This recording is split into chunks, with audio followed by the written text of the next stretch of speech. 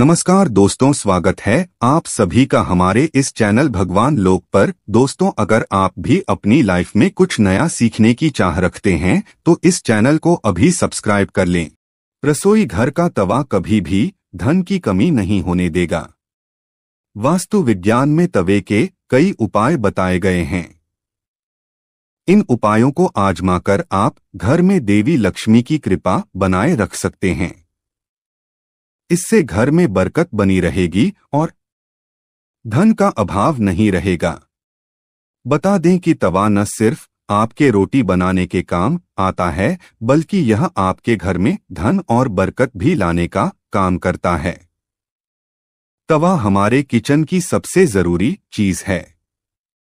आज हम आपको बताते हैं कि वास्तु के अनुसार तवे का कितना महत्व है। और यह भी कि किसी खास जगह पर, किसी खास तरीके से तवा रखने पर आपको मिल सकती है, बेशुमार दौलत खुल सकते हैं, किस्मत के बंद दरवाजे। लेकिन उससे पहले अगर आप भी चाहते हैं कि लक्ष्मी माता का आशीर्वाद आप पर बना रहे तो इस वीडियो को एक लाइक करें और चैनल को सब्सक्राइब कर ले और कमेंट बॉक्स में, जय लक्ष्मी माता ज़रूर लिखें। नंबर एक, तवा और कढ़ाई राहु का। प्रतिनिधित्व करते हैं, इसलिए रसोई को साफ़ रखें। यदि कोई महिला गंदे तवे या फिर गंदी कढ़ाई को इस्तेमाल में लाती हैं तो इसका सीधा प्रभाव उसे के पति पर पड़ता है। नंबर दो, जब सुबह खाना बनाने जाएँ तो।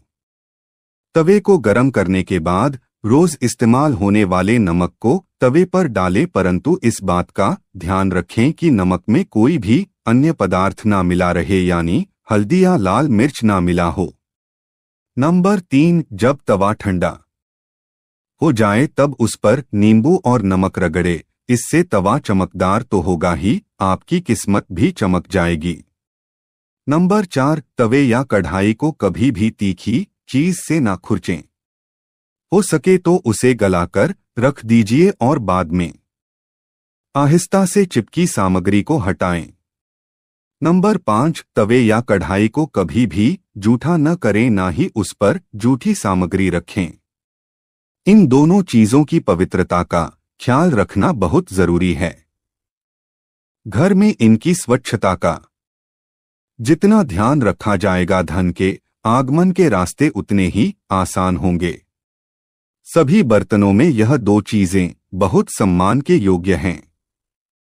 नंबर छह अक्सर देखने में आता है कि कुछ लोग तुरंत रोटी सेंकने के बाद गर्म तवे को गंदे बर्तनों में धुलने के लिए रख देते हैं।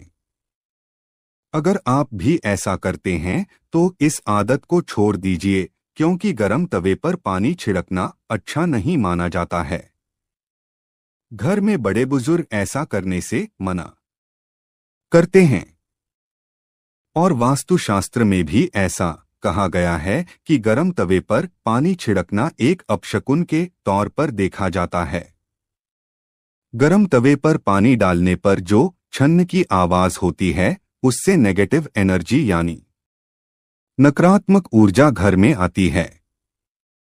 वहीं यह भी माना जाता है कि जब घर में किसी की मृत्यु हो जाती है तो उसकी तेरहवीं के दिन गर्म तवे पर पानी छिड़का जाता है। इसलिए सामान्य दिनों में ऐसा करना अशुभ माना जाता है। इसके साथ ही यह भी मान्यता है कि गर्म तवे पर पानी डालने से मूसलाधार बारिश होती है, और ऐसी बारिश से तबाही होने का अंदेशा होता है। इस कारण घर के बुज़ुर्ग ऐसा करने को मना करते हैं। नंबर सात। ज्योतिष में तवे का संबंध राहु से माना जाता है, इसलिए इसकी साफ़ सफ़ाई का विशेष तौर पर ध्यान रखना ज़रूरी होता है। हमेशा तवे को साबुन के साथ साफ़ पानी से धोकर ही रखना चाहिए। नंबर आठ। तवे को सदैव ही लिटाकर रखना चाहिए। ऐसा माना जाता है कि तवे को खड़ा करके रखने से घर में लड़ाई होती है। इसके अलावा इस बात का भी ध्यान रखें कि तवे को कभी भी गैस पर खाली नहीं छोड़ना चाहिए। कुछ लोगों की आदत होती है कि रोटी सेंकने के बाद खाली तवा गैस पर यूँ ही छोड़ देते हैं। ऐसा यदि आप भी करते हैं तो इस आदत को अभी छोड़ दीजिए। चूल्हे पर तवे का काम खत्म होने के बाद तवा भी हटा दें। नंबर नौ, अगर आप रोटी बनाने के बाद तवे को खाली और गंदा छोड़ देते हैं तो यह बहुत ही खराब बात है। इसका उपयोग करने के बाद इसको अच्छे से साफ़ करके रखना चाहिए, वरना यह आपके घर में कंगाली का कारण बन सकता है। और अगर आप तवे को गंदा छोड़ देते हैं तो इससे घर में नकारात्मक ऊर्जा का वास होता है। नंबर दस, वास्तु में घर की नेगेटिविटी को खत्म करने के लिए एक उपाय बताया गया है। तवे पर रोटी सेंकना शुरू करने से पहले थोड़ा सा नमक छिड़क दें।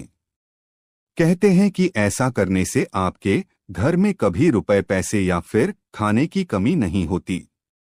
वहीं इस बात का वैज्ञानिक महत्व यह है।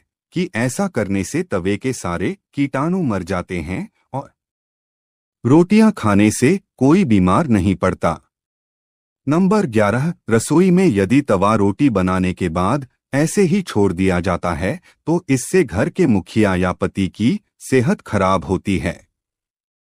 इसलिए याद रखें जब भी तवा या कढ़ाई।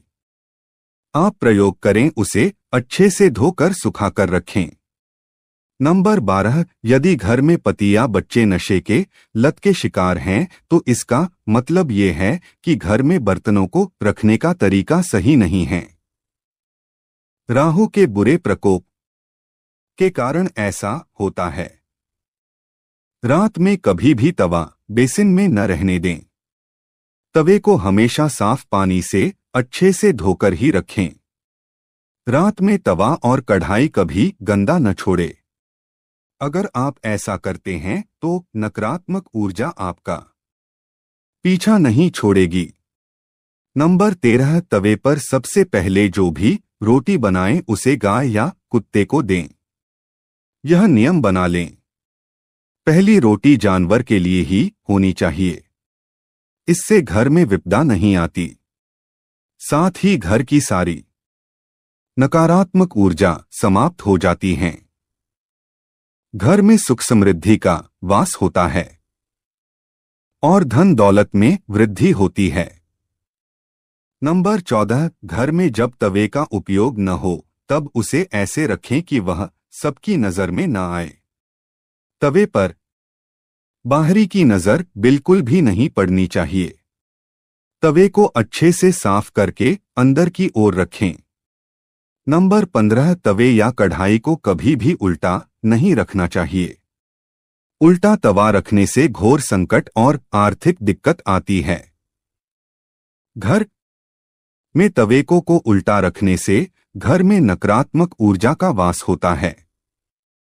नंबर 16 लोगों को हमेशा कंफ्यूजन बनी रहती है कि तवे को कहाँ रखना चाहिए जिससे घर में सुख शांति बनी रहे और धन दौलत में वृद्धि। हो और घर में सकारात्मक ऊर्जा का वास हो तो ऐसे में तवा और कढ़ाई जहाँ खाना बनता है, उसके दाएँ तरफ़ रखना चाहिए। नंबर सत्रह, तवा हमेशा साफ़ और चमका कर रखें, क्योंकि ये आपकी किस्मत का प्रतिबिंब होता है। तवा जितना चमकेगा किस्मत भी उतनी निखरेगी। अगर जानकारी अच्छी लगी तो वीडियो को लाइक एंड शेयर करें और चैनल को सब्सक्राइब करके बेल नोटिफिकेशन को ऑल पर सेट कर ले वीडियो देखने के लिए आपका धन्यवाद।